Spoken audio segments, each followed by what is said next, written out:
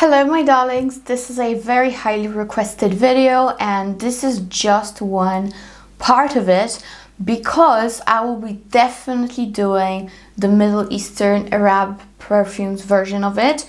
Um, today we're gonna focus on like general, you know, designer slash niche and these are the fragrances that are super projecting, that leave an intoxicating trail, all right? And uh, I've done such videos in the past and these that I have here are newer fragrances in my collection all right so I do not really want to repeat myself over and over again. I still stand by the older videos. However these one uh, these ones are the ones that are newer in my collection. There's only one or two fragrances that are a bit older and this is just a kind reminder for you to check them out. Alright, so let's start and uh, we are gonna start with my own fragrance and that is Lost in a Dream. This really does leave an intoxicating trail. This is marshmallow, croissant, milk, figs, uh, coffee, sandalwood. This is everything that a lactonic sweet fragrance lover would dream of. It is a little bit, I mean, not even a little bit, it is quite similar to commodity milk. However, this one is way more complex, way more structured, um, and uh, also way more long lasting. So you, if you love lactonic fragrances, if you like sweet, if you like gourmand, and you want something that will last and will project, then check out Lost in a Dream. It's been created by Bertrand de Chevaux, uh, and he works in a lab that pretty much 9 out of 10 creates very long lasting fragrances. So yeah, great perfume oils here and I still have discount code which is Paulina 10 that you can use for this fragrance now it's been restocked and uh, it's available worldwide so yeah lost in a dream check it out guys I love wearing this I love mixing it with vanilla fragrances and some um, more fresh fig fragrances as well. So yeah, there's a massive variety of scents that you can mix it with, even though it's a complex scent. So I love Lost in a Dream, obviously, and I know so many of you love it too. So that's the first one. And speaking of Navitus, I did include it, I think, in such that kind of a video a while ago already. However, I wore it today.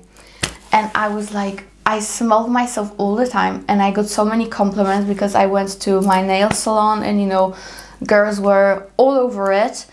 And this is Ambrosia Imperiale also from Navitus. This is your banana caramel dates oriental dessert dream. It is very sweet. It is also very potent. It projects so beautifully.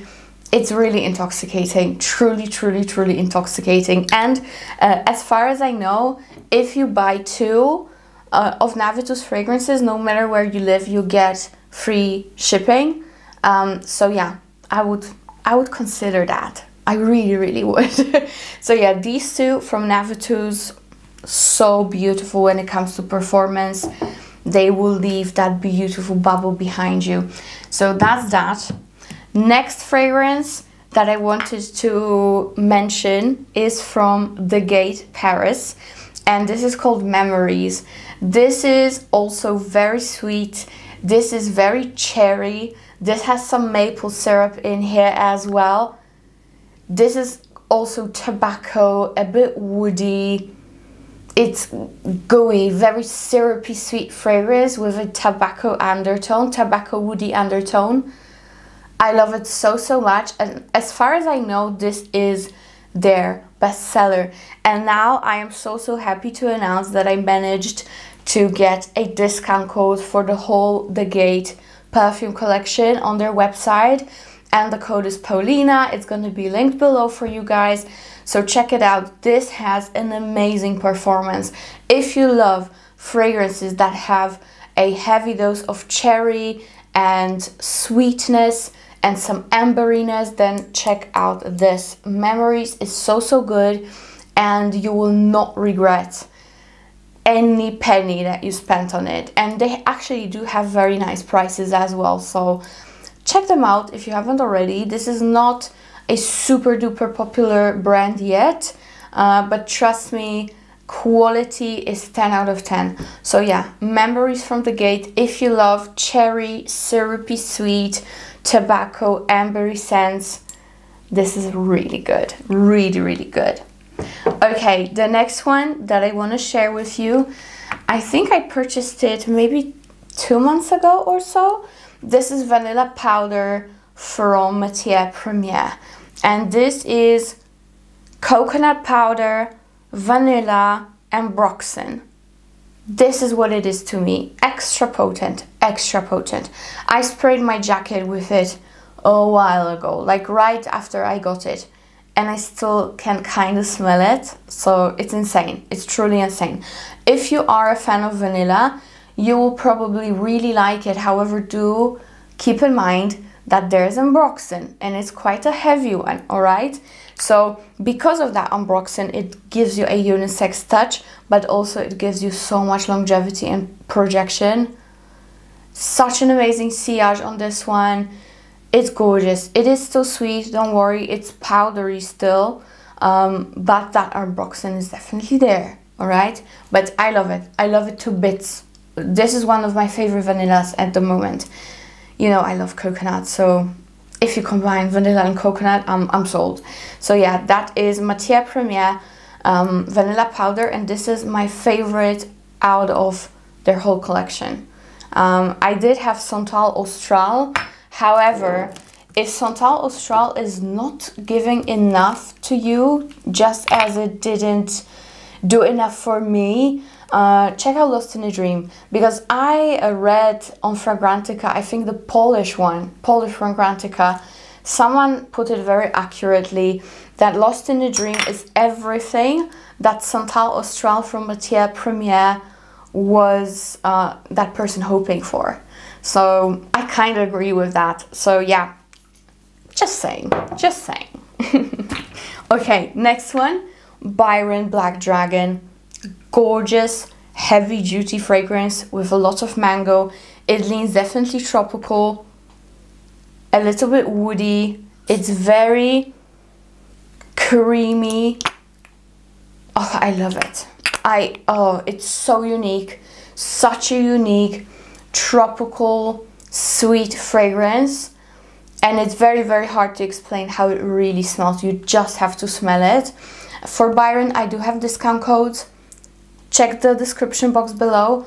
Uh, but Black Dragon is very underrated and it should be more, hyped up way more than it is because it's exquisite. It's truly exquisite. To the point I'm currently loving it more than Mula Mula. I said it. Performance 10 out of 10 on this one. Alright. I'm just quickly, I promise quickly gonna mention Amouage Guidance performer of all performers. 10 out of 10. And funny enough, many girls who smelled me wearing this in Milan during Esxence, they were sure that I was wearing something very sandalwood heavy, kind of like Piano Santal or something like that. So on me, it doesn't pull too sweet. However, then I met with Karim um, and he said that um, to him it kind of smells like hibiscus mahajad on me, which is very interesting. But apparently it pulls differently in different environments.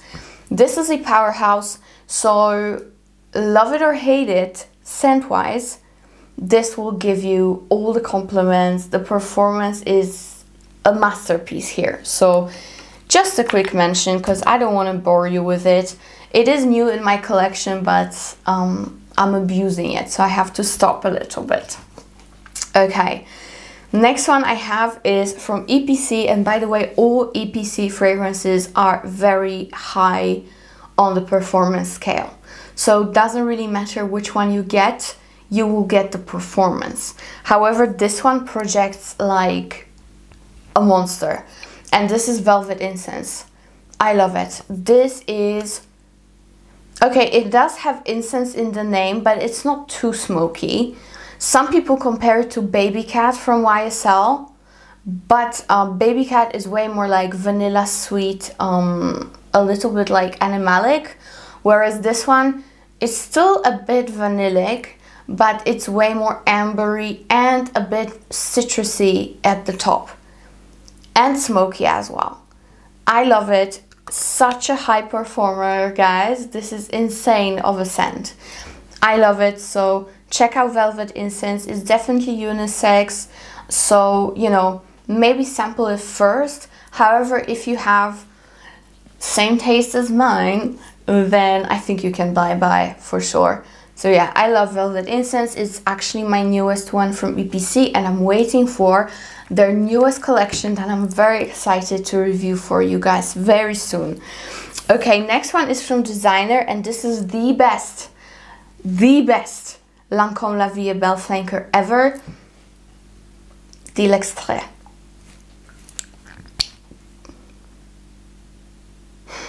This is rose, iris and oud.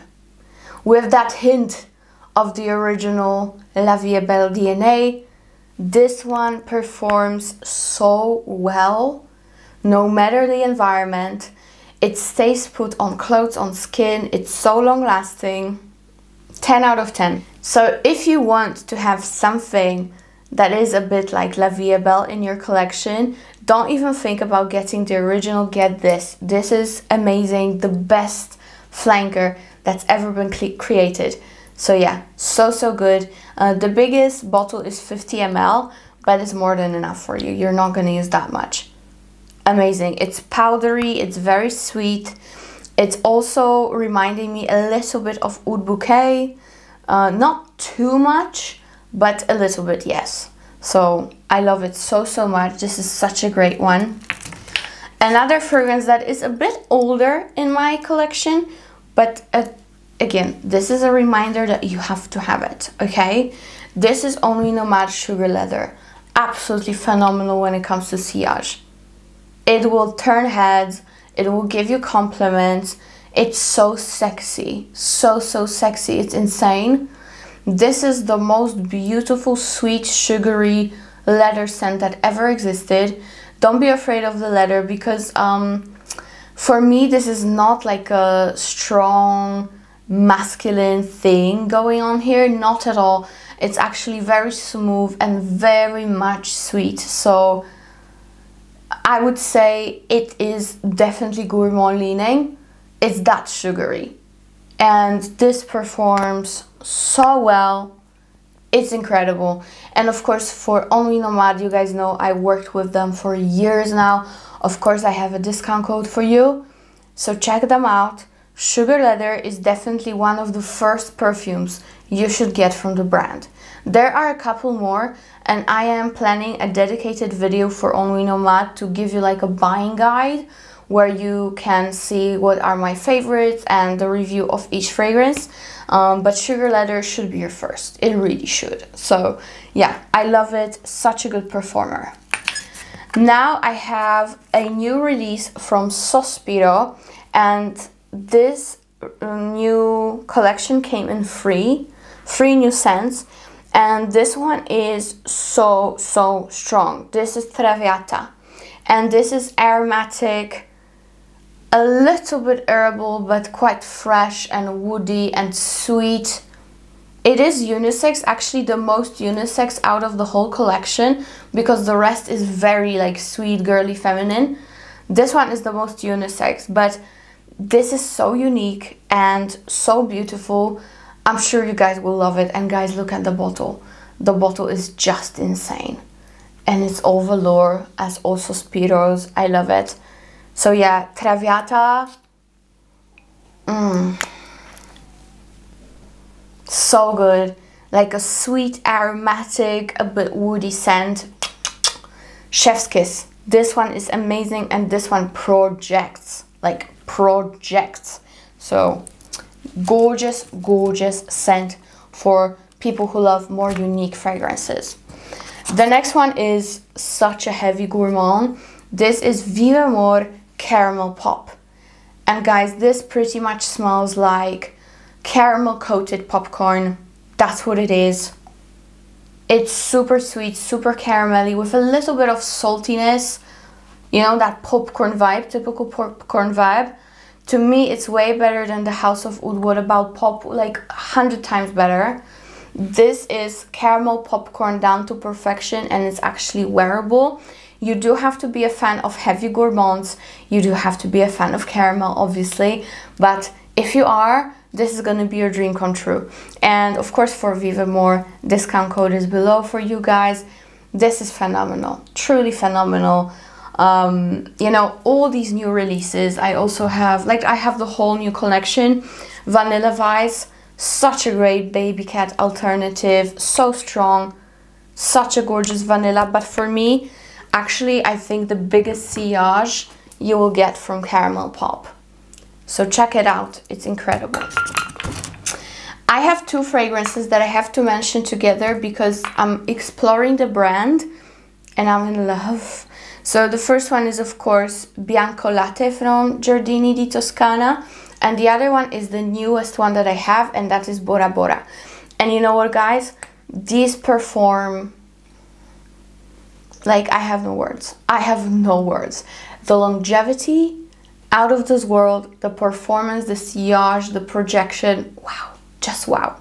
So Bianco Latte is like your typical vanilla, um, like sugary, benzoin, caramelly, uh, more toffee than caramelly to my nose, but like very, very gourmand uh, of a scent. So this is like straight up vanilla gourmand scent. Now, if you want something more like spring summer, get Bora Bora. You will get the same vanilla as in Bianco Latte, but not as sugary sweet. This one is still very sweet, but this one is infused with coconutty tropical florals. Like you have some tiare here, coconut, it's powdery, but still very, very sweet, heavy vanilla. So you cannot go wrong with these or this. They are both amazing. I suggest getting both honestly. If i could give you any advice today get these both because this one will give you gourmand all year round and you know your heavy hitter for all the vanilla lovers for fall and winter even spring as well and this one is your summer tropical heaven again for all the vanilla lovers because it's still very heavy of a vanilla. But it's amazing amazing. And they project and just do their thing like magic trust me.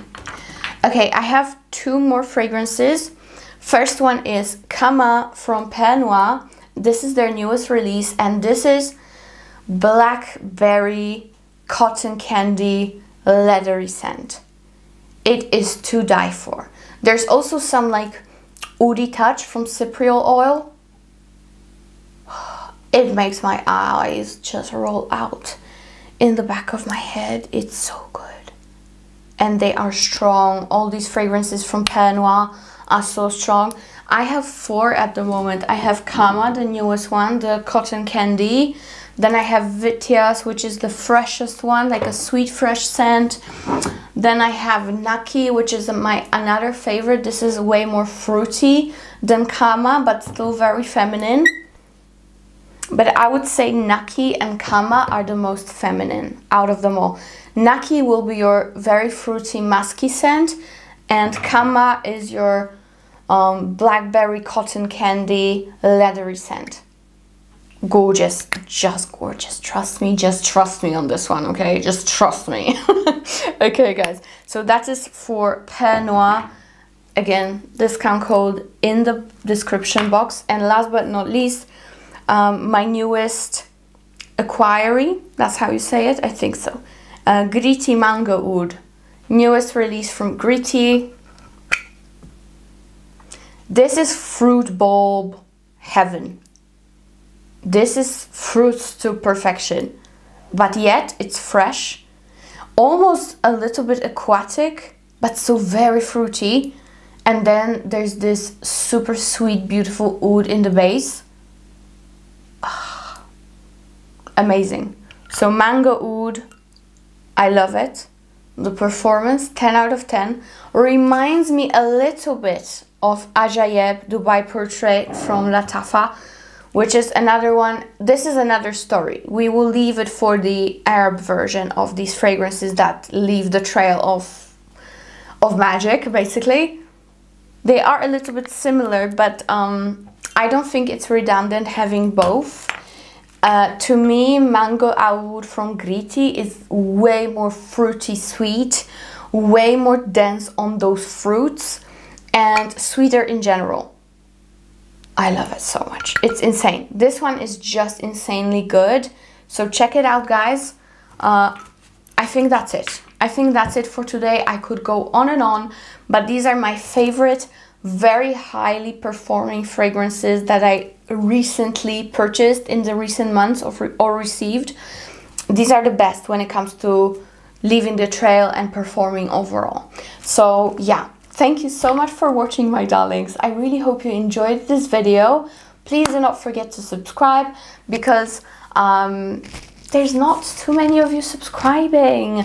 Please, please, please give me some love and subscribe to this channel and give this video a thumbs up and see you in my next one. Bye guys!